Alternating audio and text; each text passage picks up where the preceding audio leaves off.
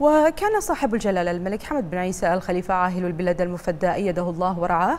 قد استقبل اليوم بمقر إقامته بمقر إقامة جلالته في أبو ظبي. صاحب السمو الشيخ محمد بن زايد آل نهيان ولي عهد أبو ظبي نائب القائد الأعلى للقوات المسلحة بدولة الإمارات العربية المتحدة الشقيقة. وسمو الشيخ حمدان بن زايد آل نهيان ممثل الحاكم في منطقة الظفرة.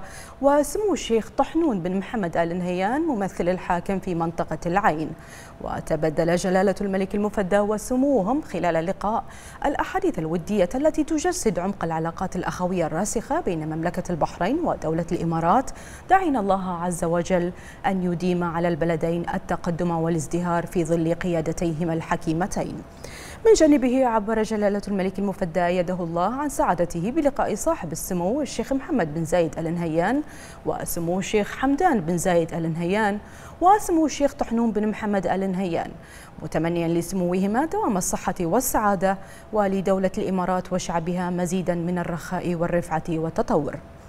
وأبلغ جلالة الملك المفدى حفظه الله سموهما بنقل أطيب تحياته إلى صاحب السمو الشيخ خليفة بن زايد آل نهيان رئيس دولة الإمارات العربية المتحدة حفظه الله وتمنيته إلى سموه موفور الصحة والعافية. كما أعرب جلالته أيده الله عن اعتزازه بمتانة الروابط الأخوية المشتركة بين البلدين والشعبين الشقيقين مشيرا جلالته إلى ما يجمعهما من أواصر القربى والأخوة والمصير المشترك والتعاون على جميع المستويات.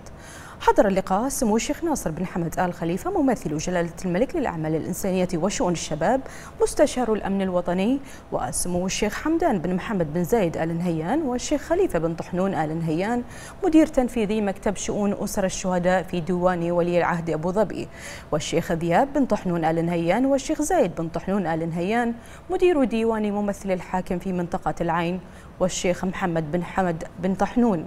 آل نهيان رئيس مجلس إدارة مطارات أبو ظبي.